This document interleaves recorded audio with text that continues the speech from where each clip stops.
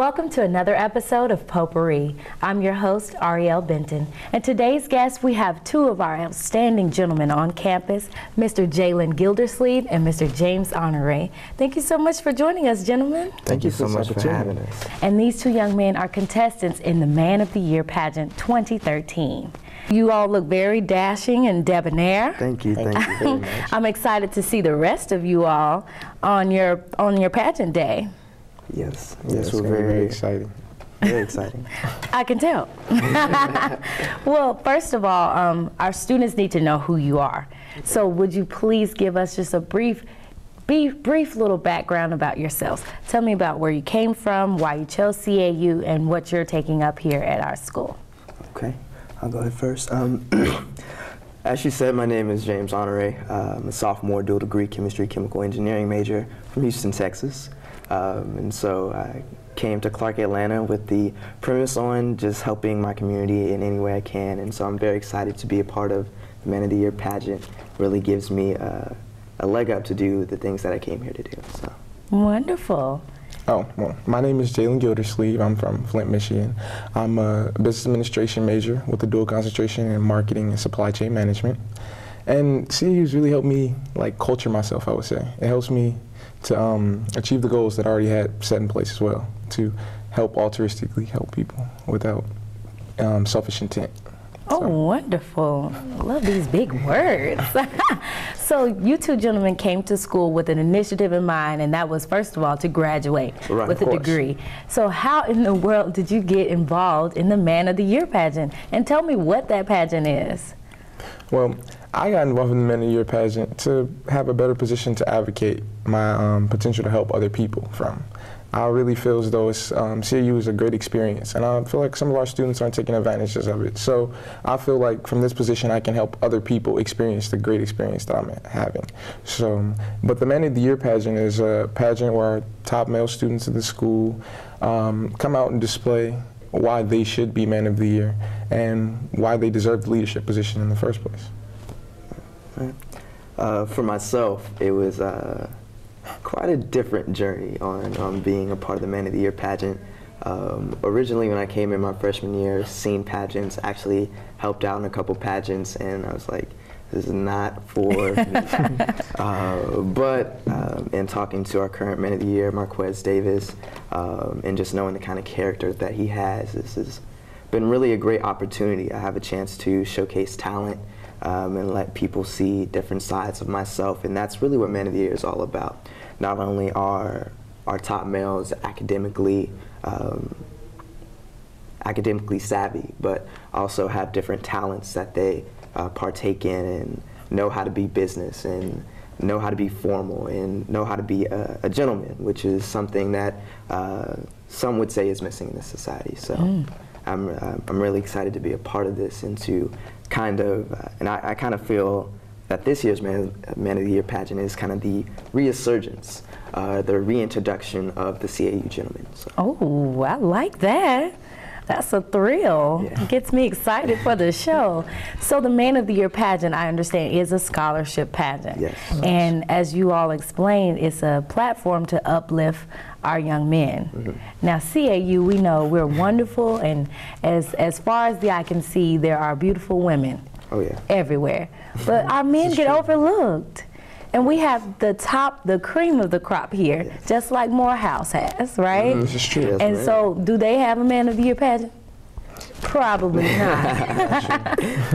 so, how, how's your journey been? Um, these practices. I know some of you, this is your first pageant, and it's a little different. Pageant world is different, right? Mm, yes, it's a different beast entirely. yes, uh, wow. Uh, to say that it has been difficult is an understate, understatement. um, the amount of patience that it has required uh, of me, and um, it's really helped me grow in that area.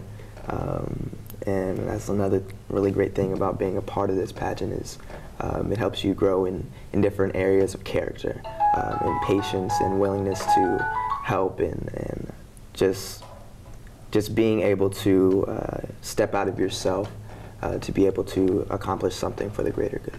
So. And for you, Jalen? It's definitely a learning experience. It's, but it can't say it's been a bad one. It's learned helped me improve my abilities to empathize with other people, um, and help me understand other people and the mindset of other people. It's not always just about what you can do. Sometimes you have to help your pageant brothers. It's a, truly a growing experience. If you didn't have any siblings, it will definitely culture you to the life of having siblings. Yeah. And it's, that's much more fun and interactive than I expected. I expected to be extremely rigorous and competitive, but it's really a brotherhood like that I formed. We actually hang out and although it's down to business when we're in rehearsal and running through practices, it's still a love there. You want to see them do well. Oh, wonderful. So since we're speaking of your pageant brothers, how's the competition? Um, I mean, I guess you can crown first and second attendant when we get to the pageant because Oh, oh. no, but uh, see, as you can see, it gets intense, and some people get ahead of themselves. But Oh, wow. Look, look, look. I didn't, I didn't mean to say it. You did. but it, but in all in all seriousness, uh, there's there's a lot of competition.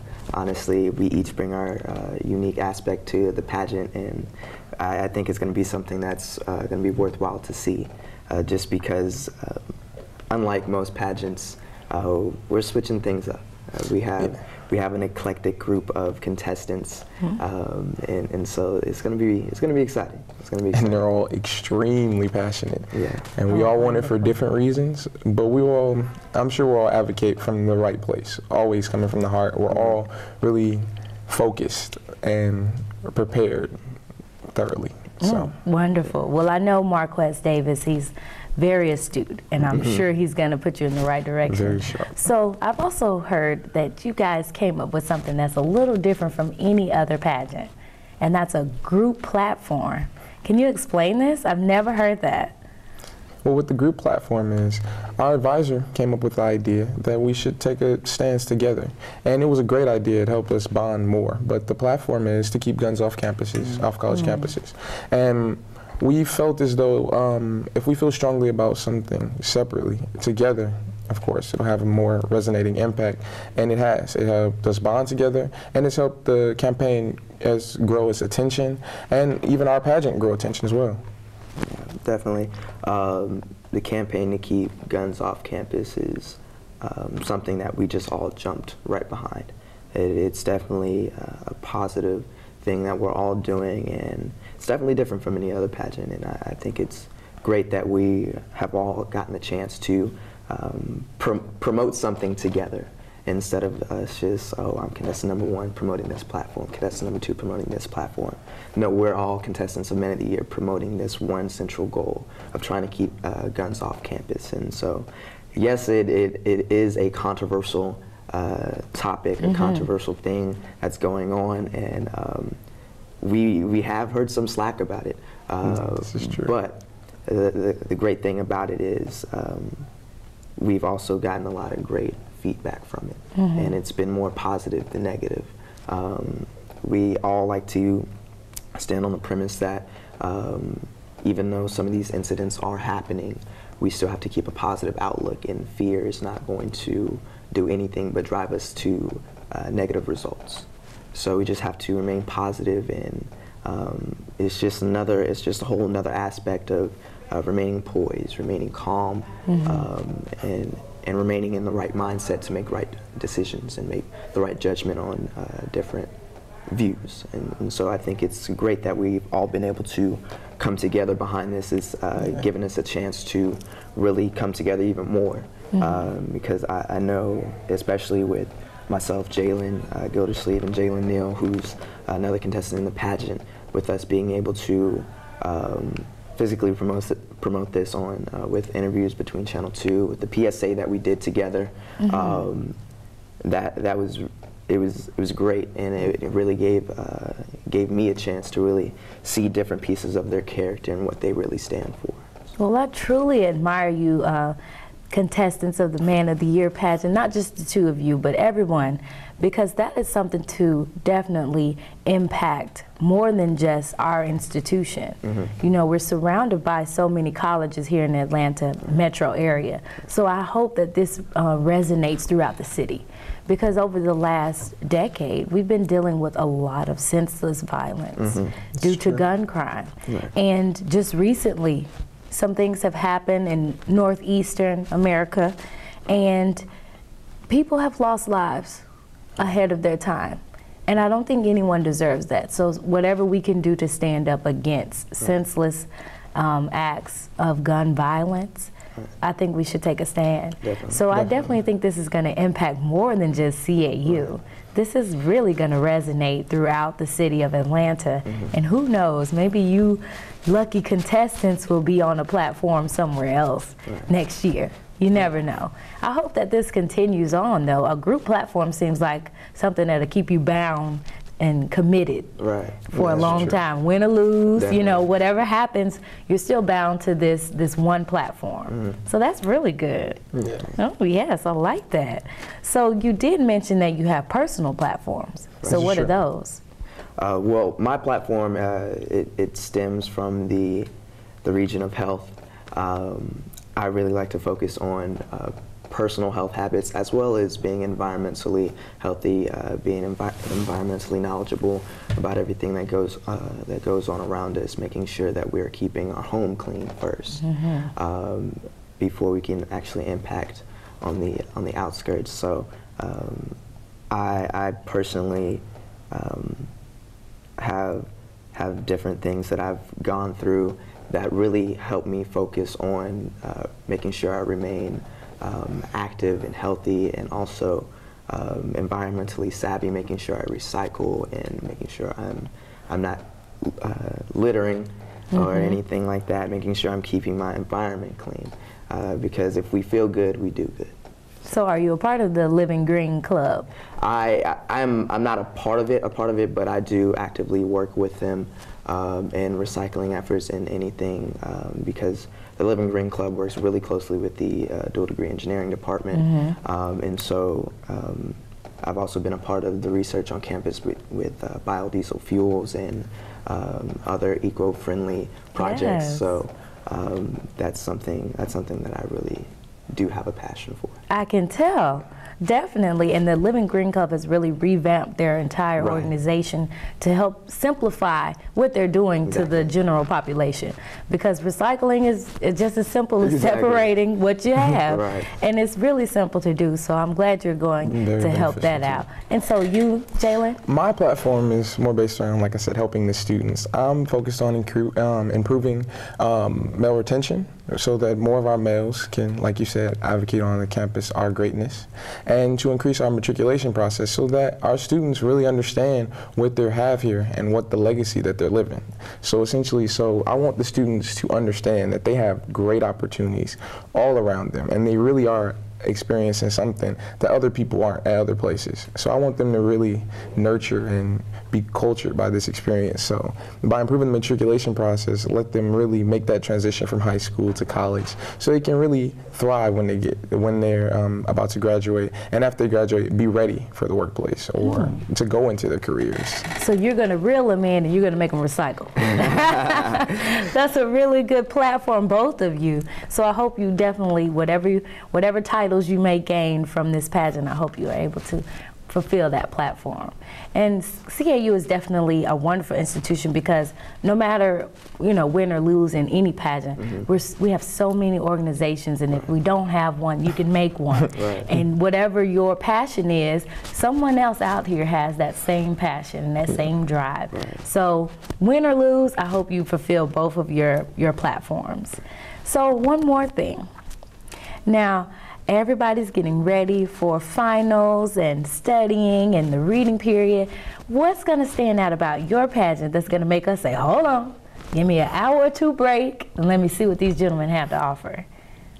Um, well, besides just a uh, pretty face, um, like I said before, this is an e- eclectic, uh, very different, uh, multifaceted group of individuals, and we have so much to offer. And, uh, the way this pageant is set up, it's uh, going to be different from any pageant uh, that anybody on this campus has seen. It's going to be so amazing, and, and, all the buzz that we've gotten about this, all the uh, people from the outside that have come in to help us really put on this wonderful production. So many people from um, from Mr. C, who's our advisor, uh, who who from last year didn't really have a, a faculty advisor that would come in every rehearsal. Uh, I know this just because I was uh, a part of the Man of the Year pageant, just helping um, and, and, being able to see this kind of transition um, into something. It's growing. Exactly. Yes. into, into yeah. something that's going to be huge. Mm. So. I'm excited. What about you, Jalen? What do you think? Just overall, not even dealing with the buzz, just the um, production that we have with our coordinator, uh, Mr. Davis, he's really created a thing of beauty. His brilliance in um, creating the way our uh, whole pageant is set up, like, it's so different from your traditional pageant it's definitely worth coming to. And the like the buzz behind it has gotten the president to come, some board of trustees members. It's really has gained a nice following. So it's going to be it's going to be worth the two hour break, definitely. Oh wow! So how does this feel? This is really big. This platform this year has surmounted the past platforms of our previous kings. Well, yeah, you would call them kings. um, and so you've you've done news shows, you've done PSAs, you're doing a talk show. How does this feel? This is huge. It's a truly enlightening experience. I never, since I never expected to be in a pageant, I've never been behind a camera, never really dealt with any of that. So I'm definitely more on the study and produce good grades aspect of it. So it's interesting to be behind this amount of this amount of media. This this is truly a beautiful culturing experience, and I'm really blessed and graced to have it. Definitely. Um, this pageant has been uh, an absolute blessing. Um, absolute. Uh, from the people that I've met, from the things that I've been able to experience, um, it's just been at times overwhelming, but from the same uh, from the same perspective, it's just like an overwhelming of blessings. Um, and I'm just so glad that I've been able to uh, be a part of this, and I'm so glad that I actually said yes to come uh, to apply and, yes. and to go uh, and to go through this uh, process. And um, I couldn't have asked for anything more. This is wonderful. And I know your other pageant brothers are out there listening to you and rooting you on.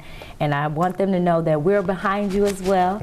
we'll be there to support you as well. Now, I don't mean to do this, but you have to get ready. Pageant right. question for both of you. All right. Okay, Mr. Jalen, you're first. How do you feel your your your involvement in this pageant will impact the women at CAU? I would hope that it would make them understand that the CAU male and the Morehouse men and Georgia State, that there's not truly a big difference. There's only a difference in passions and drives. We all have the potential to truly fulfill anything that we want. Because I feel though as though we're not effectively as marketed as the Morehouse men or mm-hmm. as Georgia State or Georgia Tech. And I feel that diversity is not necessarily as positive as I would like it as being a CAU man and a man of passion and intelligence, I would like women to understand that we are here and we have things that we want to show too.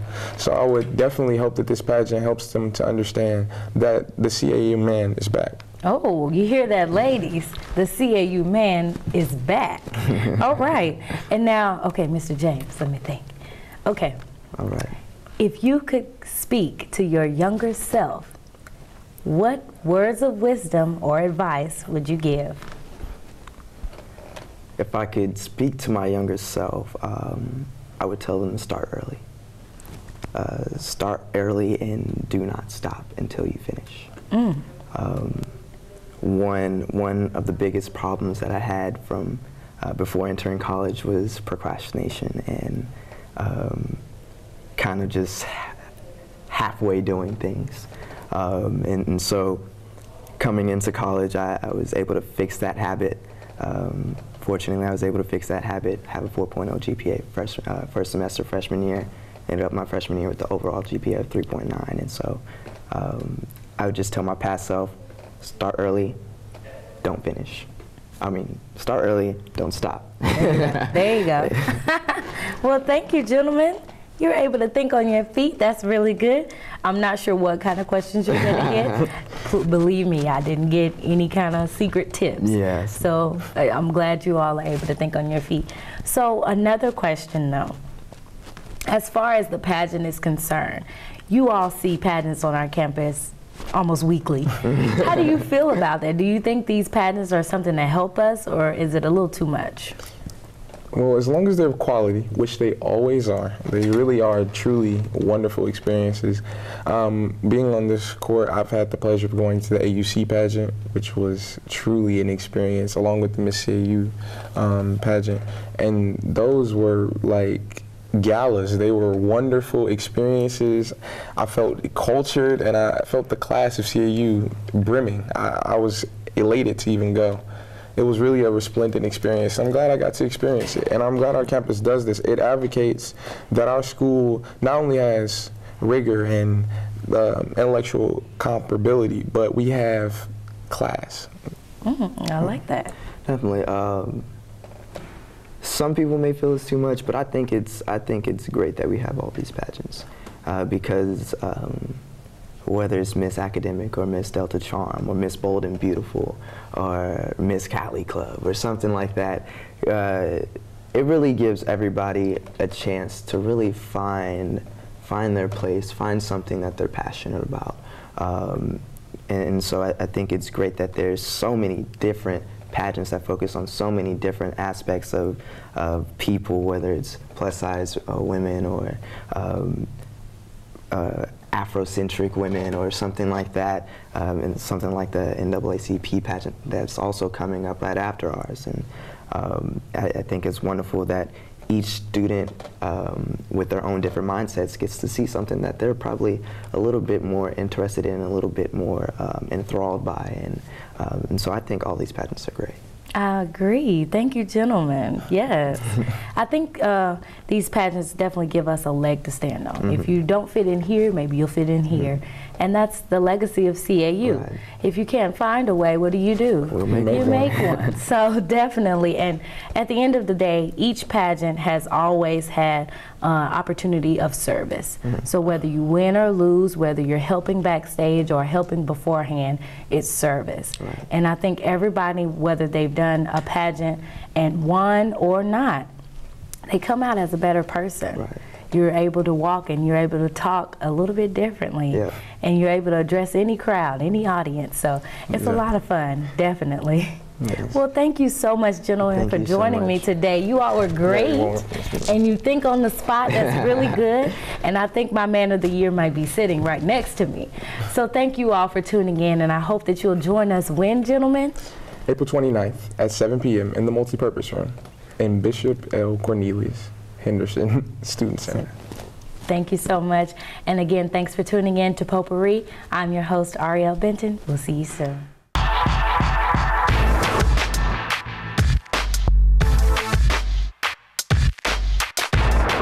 It's time to man up against guns on campus. Let's get together like men. Talk man to man. About how more guns, It's not the answer. More guns are just more guns. More violence, more dead loved ones. And we students are men who are involved. Collecting signatures, For the campaign, keep guns off campus, we are taking responsibility. like men. Join us. one of us will take the title of Man of the Year at Clark Atlanta University. It's gonna be me. Come meet the Man of the Year at CAU, April 29th, 7 p.m. Those boys are much too much. Those boys are much too much. We got the spirit. We're hot. We can't be stopped. We got much too much. We got the spirit. We're hot. We can't be stopped. We got the spirit. We're hot. We can't be stopped. We're gonna beat them and bust them. Beat The 'em, smallest- spirit. We're hot. We can't be stopped. We're gonna beat them and bust them. The smallest moments can have the biggest impact on a child's life. Let's get a little.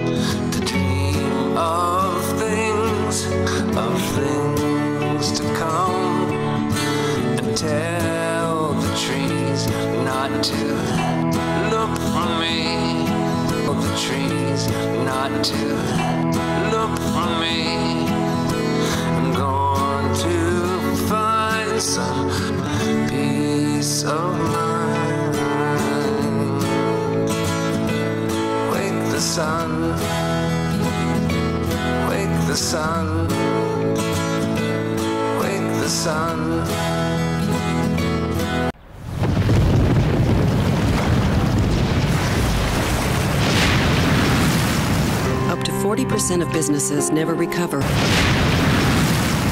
Up to 40%. Oh, those boys are much too much. Those boys are much too much. We got the spirit. We're hot. We can't be stopped. We got much too much. We got the spirit. We're hot. We can't be stopped. We got the spirit. We're hot. We can't be stopped. We're gonna beat them and bust them.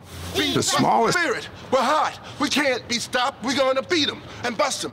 The smallest moments can have the biggest impact on a child's life. Let's get a little.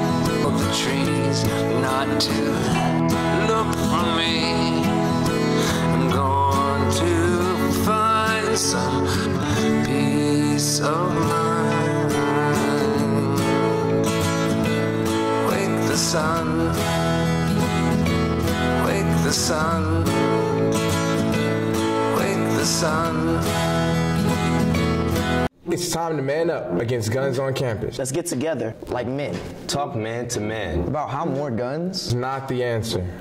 More guns are just more guns. More violence, more dead loved ones. And we students are men who are involved. Collecting signatures, For the campaign, Keep guns off campus. we are taking responsibility. Like men.